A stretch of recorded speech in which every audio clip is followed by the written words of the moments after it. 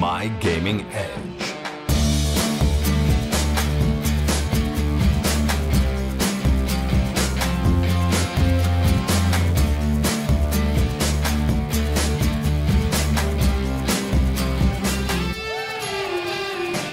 Hey guys, this is the Fragile from My Gaming Edge, and in this video I'm going to go over two scenarios. One if it was executed poorly, and the other if it was executed good.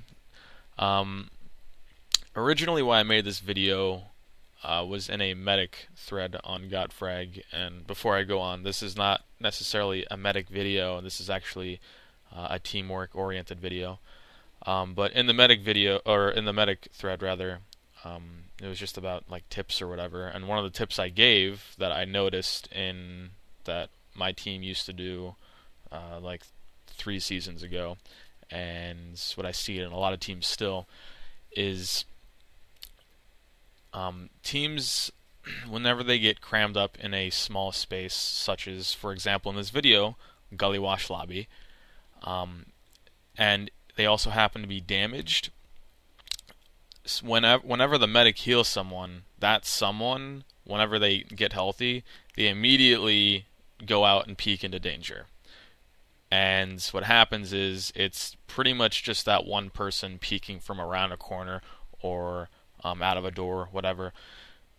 That person will take a bunch of damage to the point where they need to back up again. And what happens is you're back into the lobby or wherever you are at the same health that you were five seconds ago. And what that pretty much means is that your team can't push out or spam as a team. It's just one person doing it at a time. Um, and that doesn't really get too much done, to be honest. In fact, that's really, really bad. And what that pretty much means is if there's three or four people just hurt in a small space, those three or four people are pretty much going to be having around 30% health the entire time because no one's getting healed properly uh, because everyone keeps taking damage. Now, I'm going to play this clip, um, and uh, for the record, let me just give a shout out to everyone who helped me make this video in terms of the actors in the video. Uh, Slips, Ender, Foster, SWAT, Love, HH, Cannon, Snoopy, and uh, Hell Rebel. Uh, huge shout outs to all of them. Otherwise, I would have had to fish through match demos that are now currently broken, and it's just a huge mess. Um, so I am going to unpause right here. Currently, uh, the second uh, control point is getting captured on them. And everyone's pretty hurt, and only one person is getting healed at a time, obviously. And whenever that person gets healed, they keep peeking out and taking damage, and they would have to fall back in. And what that means is that no one's really getting healthy at all, and sometimes since they're taking so much damage, they end up dying. I'm just going to pause right here.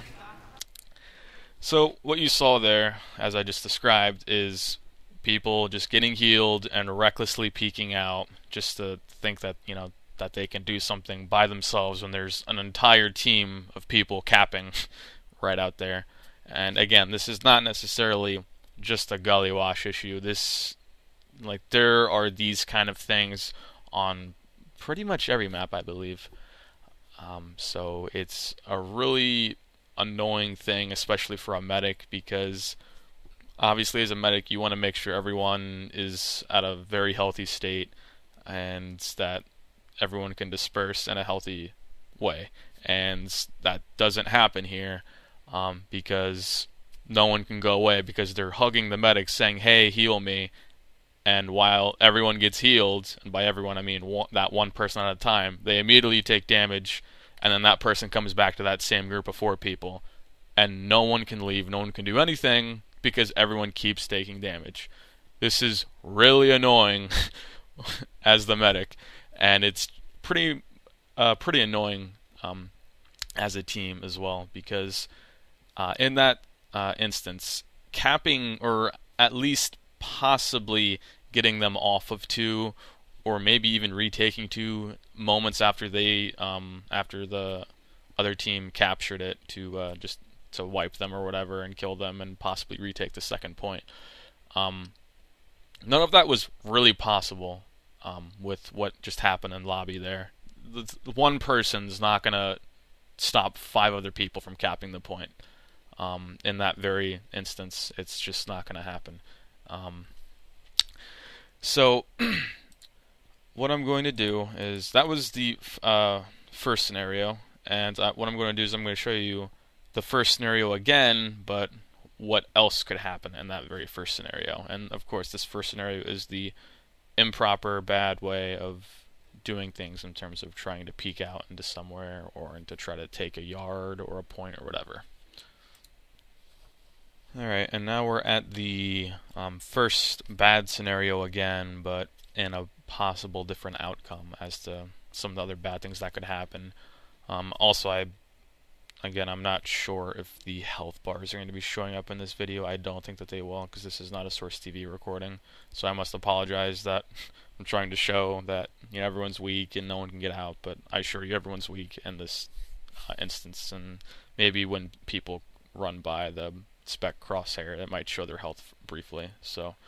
Um, Again, this is going to just be the same rundown of exactly what happened, but again, a possible different outcome that I've seen so many times before, and it's really annoying. So I'm going to unpause right here. And this uh, right now they're kind of getting healed, but um, the the the heals right here actually weren't that bad, even though now they're taking a bunch of unnecessary damage. And the big thing I wanted to point out here, and I'm just going to pause at, as this ends, is since this team, um, the, the the the defending team in lobby, they got healed a little better that time, as in they weren't recklessly peeking at around 70% health. Um, yeah, that that wasn't really too much of the issue at this point, but it was for the fact that it was everyone just in like the same area watching the same thing. Now, if some people went up top towards the went up the stairs and try to peek out towards the battlement area, that could have been a different story. Maybe something much better could have worked there. Instead, what happened is that the demo man flanked through the other lower door while they were completely focused on the main door. And on top of that, they were already taking damage at that moment, so they were pretty weak. And the demo just came in right behind them and started doing a hell of a lot of damage. And while that was happening, the other team just pushed in right to the door and just virtually sandwiched them almost, and that made them wipe easily. And I really have seen this happen a handful of times before, and you can see it all the time, really. It's something that happens a lot more than it should and sometimes it's not necessarily the the defending team's fault in this very instance, but sometimes it's just really really good planning on the uh, on the pushing team here. Um, but in this instance, this could have been avoided by either having a few people go up top. Um, obviously, they would they would need to get healed first, or to say, you know what, this isn't looking good. Let's back up. Um, because in that in that small area, all it takes is just a flanking demo man or a flanking soldier from some weird angle or whatever the case is, and that could lead to two or three kills. Um, so that's something that I guess just comes with experience and intuition. Um, but that was the crappy situations um, that I wanted to point out, and now I'm going to show the better one. Alright, so this is the ideal good scenario that if you really wanted to push back out or at least peek properly to spam them or whatever, um, this is what should be done. Um, or this is one of the many ways that um, it can be done. You can be creative with it in terms of who goes where, who goes out of what entrance if there, if there's more than two entrances. Um, but in this scenario, I think this is a pretty popular one just because you can cover um, two of the um, most important ones, which is the main door and upstairs. Uh, technically, they could sneak through the bottom door, but there's usually someone at least in that area that can watch something um, from that area. So, um, I'm just gonna unpause here, and um, you can see the scout and the soldier get healed, and they go on their way. And at this point, the other team's gonna cap the point, but at least that they can peek out with um, with distractions from more than one area. Like the uh, the capping team can't just focus on one place. And I'm just gonna pause again here. So, regardless, um, regardless of the outcome here, and the outcome it doesn't matter, but um, regardless of the outcome, if if the defending team here wanted to retake the second point, how they did it here is a lot better than what they did before because they got healed, um, as in everyone got healed before people started peeking. Um,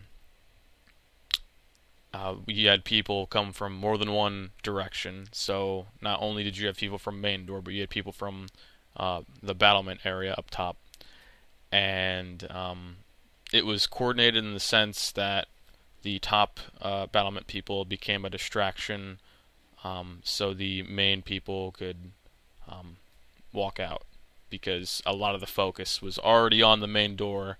So once people came from up top, then the people in the yard had to look up top and say, "Helen, like there's someone up there, and we have to focus on them now, as well as watch the main door. This isn't as easy anymore." Um, so that's really important, and um, I would say th- this actually, and I probably should have mentioned this in the beginning of the video. Most of this applies um, a lot when you don't have Uber, uh, because when there, when everyone was in lobby there, in essence, sure, if you wanted to stop the point with Uber, you can just Uber people out of the main door. You don't have to send people up top, but it's not a bad idea if you do. Um, but obviously, um, that's a whole different uh, thing to talk about because you have invulnerability. But even even in that instance, I still wouldn't send out four or five people at 30% uh, health, even if you have Uber, because they'll they'll get flashed with Uber and then they'll just die soon after. Um, so unless you have to multi a lot. Um, let's see. Uh, again, this can be applied on a handful of different maps. Um, one actually important thing I want to I wanted to mention. This applies to Badlands House. This applies to Gully Wash Lobby. This applies. Uh, let's see. To um, doesn't apply to Granary as much. Um, uh, off the top of my head, Badlands House and um, Gully Wash Lobby are two of the biggest ones that I can think of. If you're, for example, a scout or maybe a really, really weak soldier that isn't going to be doing, like, there's nothing that he needs to be there immediately for for another, I don't know, uh, 15 seconds, 10 seconds. Um, if there's a bunch of people hurt in that lobby right there, especially if you're a scout, um, and you need heals, just run back to resupply. Um, again, this is assuming that no one is going to be trying to contest the second point. Um, I, but again, this this happens a lot in Badlands House, where there'll be three or four people hurt, and then a scout or a soldier will either just run back or equalize back, and save time and get a reload on their ammo.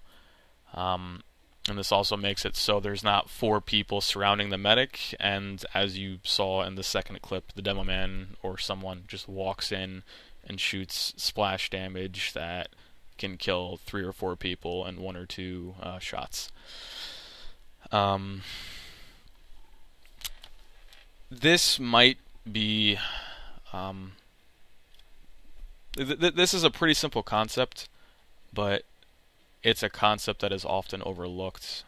People just say, "Oh, you know, we just didn't hit our shots," but nothing to do with hitting your shots or being weak. It's just about how you it's it's about how you approach a situation right beforehand, and that's exactly why that things like this happen. Um, so get healed. um, if you absolutely must peek, don't peek by yourself um, in hopes of contesting the point. Um, wait until at least a few people are healed. So if there's three or four people hurt in the lobby, I would say wait until about three of them are at good health, and then if one or two need heals, um, then that's fine as well. Uh, they can just get healed real quick. Um, also, I actually forgot to mention, um, pick up the health packs. But if you're not a medic, look at the medic's health and make sure that the medic doesn't need the health pack. Because um, I always tell my teammates all the time, if I'm healthy, feel free to pick up the health pack, especially when there's two or three people around me that need heals. I don't care at all. There's no reason why I would need it, since I would be in a, uh, in a defensive position where I'm not going to be taking damage anyway, such as towards the back of the lobby or towards the back of the house. Um, and that's, I guess, quite it. Um, it's just a different perspective of uh, looking at it. This isn't necessarily a um, uh, an ESEA invite like video where like other invite players would be learning from this.